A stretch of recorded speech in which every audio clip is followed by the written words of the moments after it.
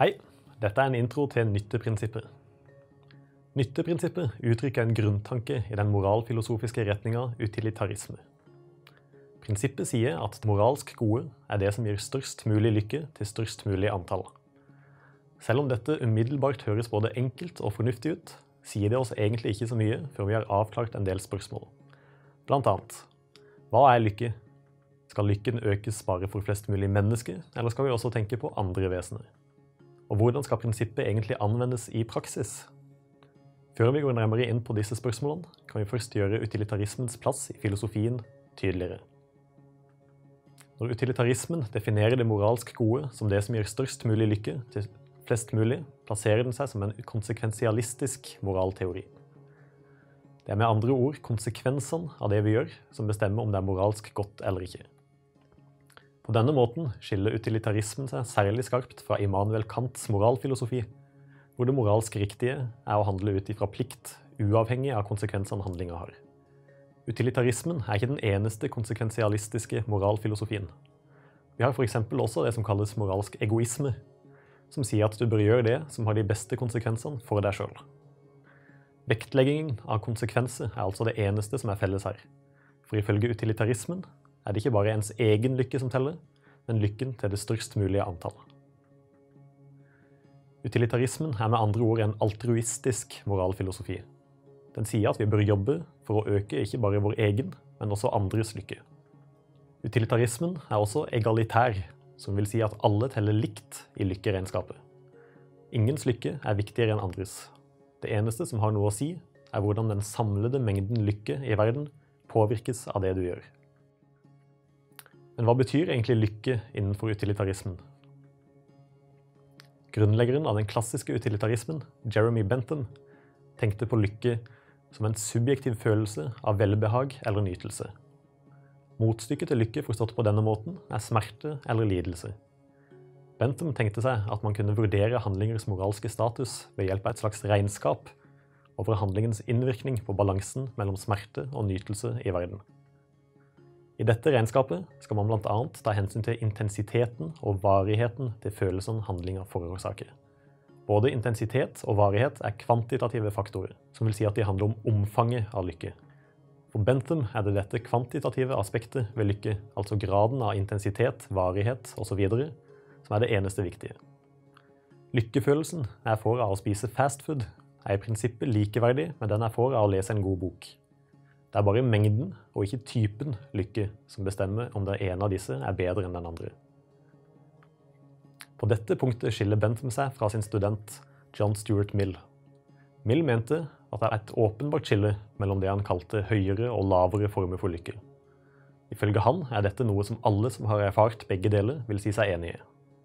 De lavere formene for lykke forstås her som knytta til kroppslige følelser av velbehag, mens de høyere har å gjøre med mer åndelige eller intellektuelle goder. Et kjent sitat av Mill sier at det er bedre å være et misfornøyd menneske enn en fornøyd gris. Bedre å være en misfornøyd Sokrates enn en fornøyd tosk. De færreste av oss ville nok valgt å heller være en fornøyd gris enn et misfornøyd menneske hvis vi hadde sjansen. For selv om man i dette scenarioet ville følt høyere grad av velbehag som gris, ville man også mista evne og muligheter som er viktige for oss som mennesker. Mills teori om høyere og lavere former for lykke innebærer at det ofte vil være riktig å ta mer hensyn til mennesket enn til andre dyr i hans lykkeregnskap. Allikevel er utilitarismen generelt kjent for å gjøre ikke-menneskelige dyr moralsk relevante i mye større grad enn dygdsetikken og pliktetikken, hvor moralsk status vanligvis er forbeholdt mennesket. For selv om Mill tenker at noen former for lykke er bedre enn andre, er fortsatt all lykke relevant i vurderinga av hvilke handlinger som er moralske.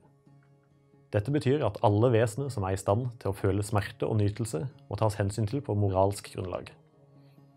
For utilitarismen er det f.eks. åpenbart umoralsk å påføre dyr smerte, med mindre dette bidrar til å produsere mer lykke i verden sammenlagt.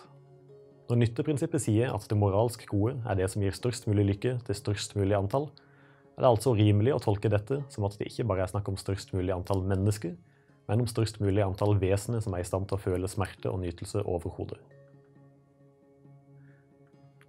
Til tross for nytteprinsippets eh, altruistiske, egalitære og dyrevennlige sider, oppstår det fort vanskeligheter når det skal anvendes. Et problem er hvordan man skal klare å måle subjektive følelser av lykke og smerte opp mot hverandre. Hvordan vet man hva man skal gjøre i situasjoner der det ikke er åpenbart hvilken handling som vil føre til mest mulig lykke? En annen utfordring er at man ganske lett kan forestille seg situasjoner der utilitarismens verdier kommer i konflikt med våre moralske intuisjoner. Et klassisk eksempel er følgende. Fem pasienter på et sykehus er avhengig av nye organer for å overleve. I korridoren sitter en utenforstående, frisk besøkende med organer som passer perfekt for de fem pasientene. Det virker som at en konsekvent utilitarist her må si at det rette å gjøre er å ofre den utenforstående for å redde pasientene. Fem liv gir tross alt mer lykke enn ett. Men kan vi egentlig akseptere en moralfilosofi som åpner for å ofre uskyldige liv på denne måten? Et svar på dette er at selv om en moralteori har konsekvenser som strider imot våre intuisjoner, betyr ikke det nødvendigvis at den er feil. Men det går også an å være utilitarist på en måte som lettere unngår denne problematikken. Dette handler om hvordan man tenker at nytteprinsippet skal anvendes. Utilitaristen som ofrer et uskyldig menneske for å redde de fem pasientene, gjør det fordi den handlinga i den konkrete situasjonen øker mengden lykke i verden. Denne måten å bruke nytteprinsippet på kalles handlingsutilitarisme. I kontrast til dette vil en regelutilitarist heller spørre seg hvilke handlingsregler som i det lange løp vil gi de best mulige konsekvensene. F.eks. kan det tenkes at en regel mot drap på uskyldige alt i alt gir mer lykke til verden enn en regel som åpner for at uskyldige kan ofres. Selv om Bentham ofte regnes som handlingsutilitarist, brukte både han og Mill utilitarismen til å argumentere for endringer av britiske lover og normer på deres tid. F.eks. ønska Bentham å reformere fengselssystemet til å dreie seg mer om rehabilitering enn straff mens Mill og hans kone Harriet Taylor var dypt involvert i kampen for kvinners stemmerett.